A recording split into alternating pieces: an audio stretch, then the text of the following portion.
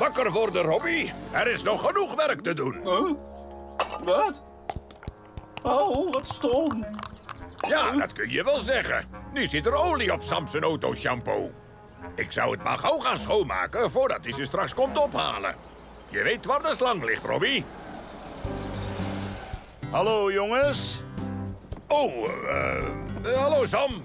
Ik kom een autoshampoo ophalen. Oh kijk, daar staat het al.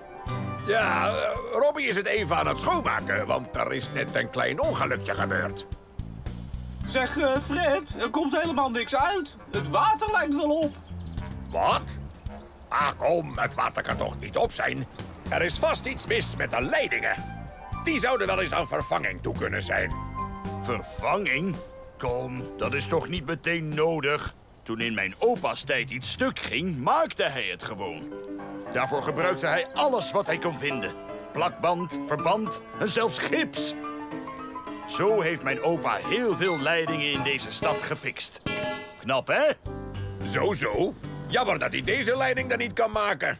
Ja, maar geen zorgen. Ik spoel ze wel schoon zodra ik bij het tankstation ben. Nou, dag hè.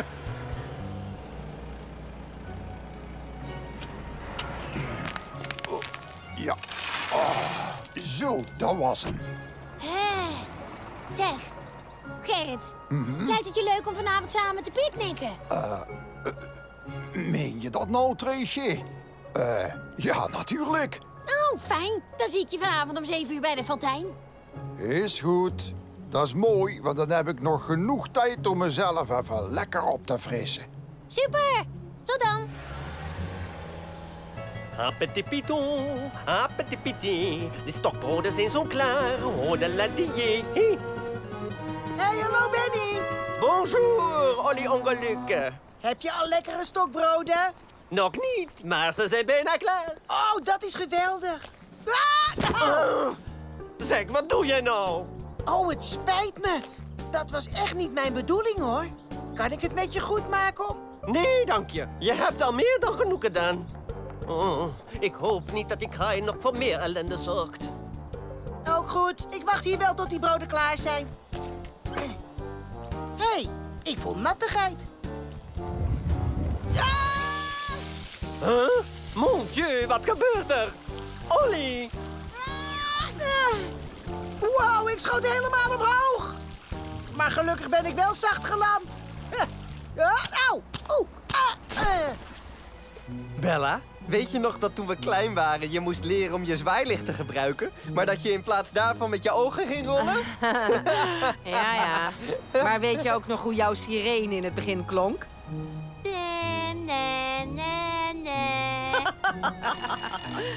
Met de doodhulpdienst? Juist. Snap ik.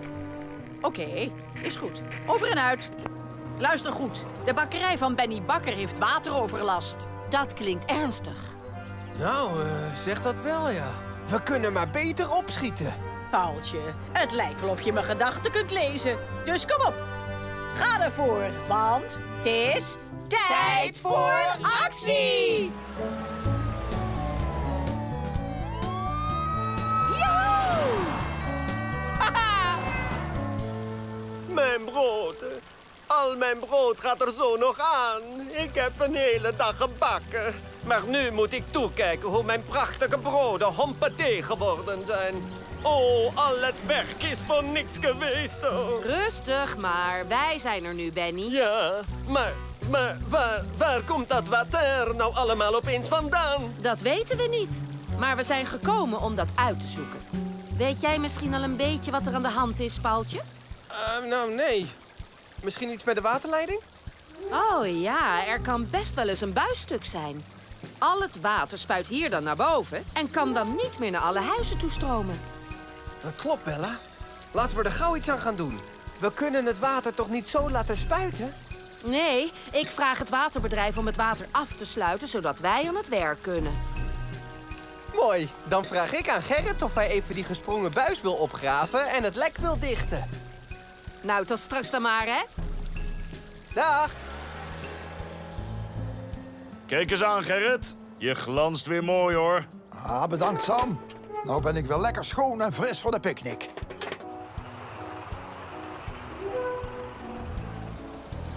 Hé, hey, Gerrit is er niet.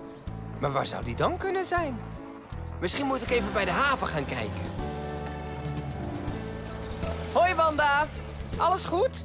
Oh, ja hoor. Ik rust alleen eventjes uit. Maar ik zie dat jij je zwaailichten aan hebt staan. Is het weer tijd voor actie? Ja, ik ben op zoek naar Gerrit. Heb jij hem toevallig nog gezien vandaag? Oh, zeker weten. Hij is hier net nog langsgekomen en hij ging naar het tankstation. Het tankstation? Oké, dankjewel. Graag gedaan. Succes nog. Wat vreemd. Normaal doet hij het altijd als ik hem aanzet. Er is iets Hoi aan jongens, de hand, denk gaat alles goed? Nou, eigenlijk niet. Opeens was er geen water meer, terwijl ik echt onder de shampoo zit. Ik snap er echt niks van. Dit is de eerste keer dat ik problemen heb met het water hier. Dat komt vast door die ene buis bij de bakkerij waar een lek in zit. Vandaar. Ik was ervan overtuigd dat het niet aan mijn leidingen kon liggen. Zoals mijn opa altijd zei, repareer nooit iets wat niet stuk is. Heb jij Gerrit soms gezien? Ja, je zult het niet geloven, maar hij was hier net nog. Ik heb hem nog helemaal lopen oppoetsen. Is dat zo? Romantisch. Wat eigenaardig. Weet je ook waar die heen ging? Nee, maar hij ging die kant op. En ik geloof dat hij het had over een bloemenwinkel, maar ik kan het verkeerd verstaan hebben. Treesje, nu je het even niet zo druk hebt, kun je misschien langs het industrieterrein gaan om daar een nieuwe buis voor ons op te halen? Dan kunnen we dat lek bij Benny dichten. Graag zelfs, anders word ik nooit goed schoon. Heel fijn. Dan ga ik weer op zoek naar Gerrit. Tot straks bij de bakkerij. Is goed, tot zo. Oh, Gerrit, daar ben je. Ik zoek je al de hele tijd. Oh ja, zo. Oké, blijkbaar ben ik heel erg populair zonder dat ik dat zelf wist. Ja, we hebben je hulp dan ook hard nodig. Er moet een kapotte buis worden opgegraven, zodat er een nieuwe kan worden geplaatst bij de bakkerij van Benny. Het loopt daar helemaal onder, dus we hebben weinig tijd. Of was je misschien al met iets bezig? Eh, nee, dat niet. Wat heb je daar trouwens? Da- da- dat is niks bijzonders hoor. Ik, eh, ik denk dat we maar beter kunnen gaan, want het klonk best wel dringend. Ja, dat is waar. Voilà, fijn dat jullie er zijn.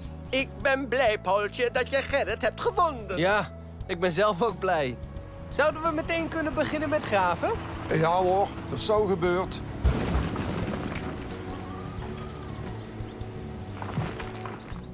Hallo, Fred. Oh, hallo Trisje. Wat leuk dat je even langskomt. Ja, maar ik kan helaas niet lang blijven, hè? De waterleiding is hier even verder opgesprongen. Heb jij nog wel buizen voor me? Buizen? Natuurlijk. Kom, dan krijg je ze van me. Hier liggen ze. Ah, fijn. Wil je ze achter in mijn laadbak leggen? Oh, maar natuurlijk. Rij maar naar voren.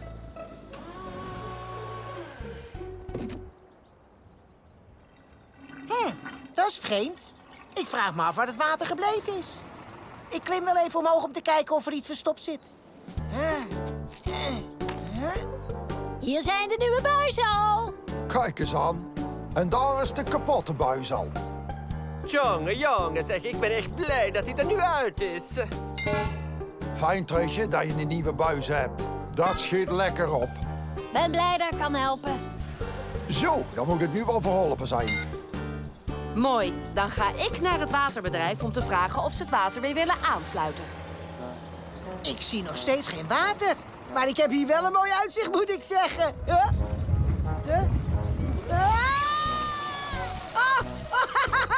Er is weer water! En de fontein doet het weer!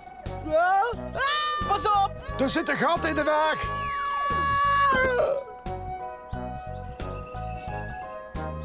Jij hebt ook nooit echt veel geluk, hè? Nee, maar er zijn toch heus nog wel dingen waar ik blij van kan worden. Kun je me eruit halen? Ja hoor, hou je maar vast. Merci allemaal. Jullie zijn echte helden. Zonder jullie hulp had ik mijn bakkerij moeten sluiten en een zwembad moeten beginnen. Maar of ik het nou zo leuk had gevonden om Benny Badmeester te heten?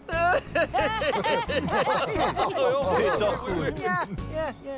Ah, daar is Bella. Zullen we gaan? Ja, ik denk dat we hier wel klaar zijn. Ja, en ik maak de rest wel af. Dat komt goed hoor. Oké. En bedankt voor de hulp, Gerrit. Tot later. Tot, Tot kijk! Huh? Wat? Wa- Wat gebeurt er? Als je hem uitzet, beloof ik te gaan werken. Juist, ja. Dus jij wil gaan werken nu ik alles klaar heb. en ik spuit je niet nat. Je bent vast vergeten het kraantje dicht te doen. Gelukkig hebben we weer water. Wacht, dan zet ik hem uit. Je hebt vandaag je zwaailicht heel goed gebruikt. Je was een voorbeeld brandweerauto. Bedankt. En Paaltje, ik moet bekennen dat jouw sirene echt heel goed klinkt. Je mag best wel trots zijn op jezelf, hoor. En? Is het gelukt? Uiteindelijk wel. Er was voor de bakkerij van Benny Bakker een leiding gesprongen... waardoor zijn bakkerij onderliep. Ach, nee. Ja, echt. De hele bakkerij stond blank door het water toen we daar aankwamen. Als Gerrit ons niet had geholpen, was het ons niet gelukt, denk ik. Ja, dat is wel zo, maar ik vond eigenlijk ook wel dat hij heel erg geheimzinnig deed. Echt waar? Ja, maar het belangrijkste is dat er weer water is... en dat de bakkerij van Benny Bakker geen last meer heeft van natte broodjes. Of niet? Klopt. En ik ben ook weer erg trots op jullie. En jullie zijn niet alleen mijn helden, maar de helden van de hele stad. Zo, ik heb geen tijd gehad om op te knappen. Maar ik heb wel vers gebakken brood bij me. Mm, bedankt. Ja, en ik glom nog wel zo toen ik bij Sam vandaan kwam. Ach, trek het je niet aan. Ik vind je zo ook al leuk, hoor. Oh, eh.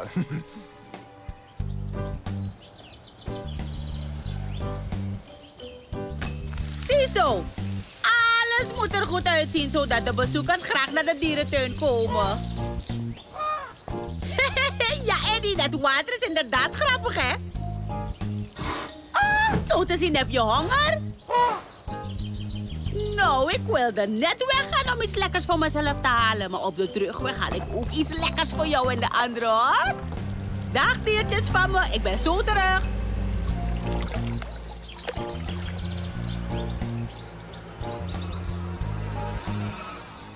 Harry, Sophie. Zullen we samen gaan lunchen? Ja, dat lijkt me leuk.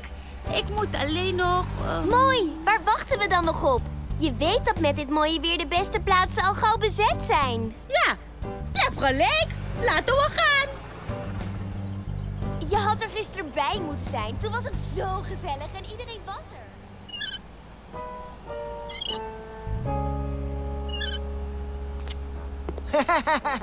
Tralalala, doobie doobie doep.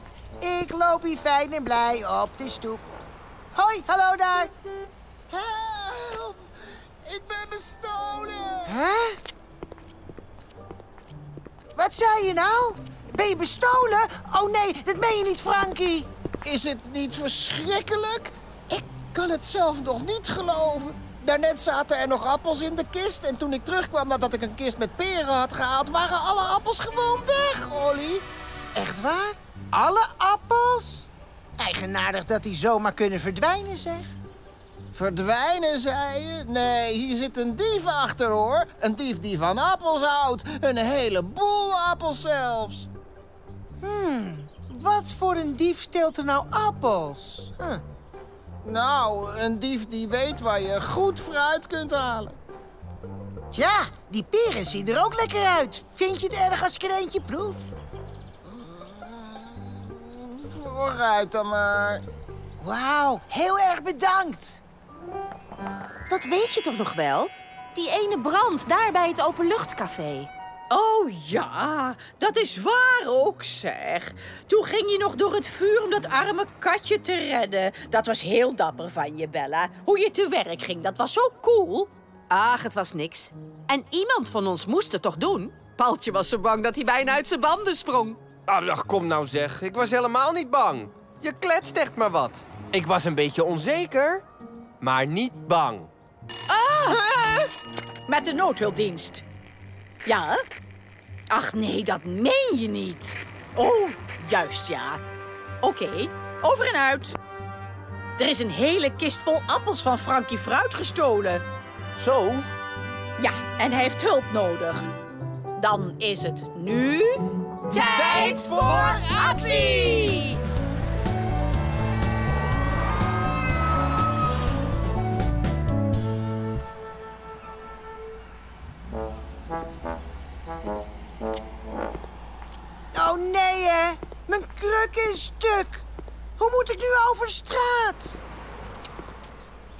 Ah. Nou ja, het was gelukkig een oude kruk. Zo erg is dat niet. Hoi Frankie, we hebben het gehoord. Je appelverhaal. Ja, en ik moest zo huilen dat ik bang ben dat ik straks ga roesten. Ik heb nog niet eens de kans gehad om ze zelf te proeven. Heb je de dief nog gezien? Nee, ik was even weg om peren te gaan halen. Maar hoe lang was je dan weg? Echt maar een paar seconden, meer niet. En zo te zien heeft hij de kist ook gewoon laten staan. Heb je nog iets vreemds gehoord? Nee, ik heb niets gehoord, nee. Nou, dat is raar, zeg. Zoiets raars als dit is nog nooit in ons stadje voorgekomen. Echt elke appel voelt als een groot verlies voor mij. Rustig maar, Frankie. Detective Paultje gaat zijn best doen. Bella en ik zullen deze zaak tot op de bodem uitzoeken en de appeldief vinden. Kijk nou eens. Daar ligt een appel waar een hap uit is genomen. Tja, laat ik maar niet al te somber zijn. Want gelukkig heb ik mijn peertje nog. Wat? Oh nee, dat heb ik weer. Mijn lekkere peertje. Iemand heeft hem van me gestolen.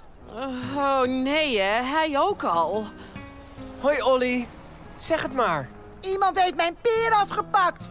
Ik zat hier gewoon met mijn kapotte kruk op de stoep met mijn peertje naast me. En toen ik net een hap wilde nemen, was hij opeens weg. Eerst appels en nu weer een peer. Het lijkt erop dat we hier te maken hebben met een fruitdief. Maar hoe komt je kruk zo? Ik heb geen idee. Ik heb hem per ongeluk laten liggen toen ik naar Frankie Fruit rende om te vragen wat er was. En toen ik weg was, heeft er vast iemand op gestaan. Oké. Dus het is allemaal gebeurd toen jij weg was. Heb je nog iemand gezien? Nee, niemand geloof ik. Tja, en wij hebben ook niemand gezien. Eh, nee, maar de dief is vast vanaf deze kant gekomen. Hij is toen naar Olly toegeslopen en heeft zijn peer afgepakt. We kunnen het beste deze kant op gaan, Bella, zodat we nog meer sporen kunnen vinden. Happetipito, happetipiti, eet je op deze dag een hapje met me mee. Happetipito, happetipiti. Eh, Oeh, maar, maar, nee, het is toch niet waar? hè? Mijn stokbroden zijn weg. Ze zijn zomaar voetzie. Oh, politie! Wie dan ook. Help me, ik ben bestolen. Iemand heeft mijn stokbroden meegenomen en ik kan wel huilen. Kijk nou toch eens, Benny Bakker, wat is er? Mijn stokbroden. Ze zijn allemaal meegenomen. Aha! Kijk, een spoor!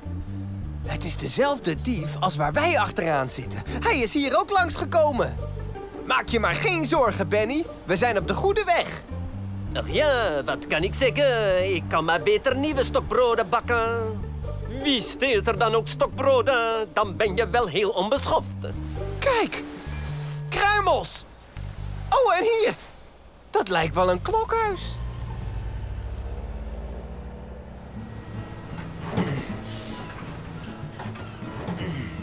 Zo. Hé, hey Frankie, wat kijk jij somber? Hoi Gerrit, ik ben inderdaad van streek. Een hele lading appels is net verdwenen, zomaar in het niets. Nee toch, wat vervelend nou. Ja, en nu moet ik dus nieuwe appels gaan halen. Tot kijk. Ja, tot kijk Frankie. Hmm. Door dat praten over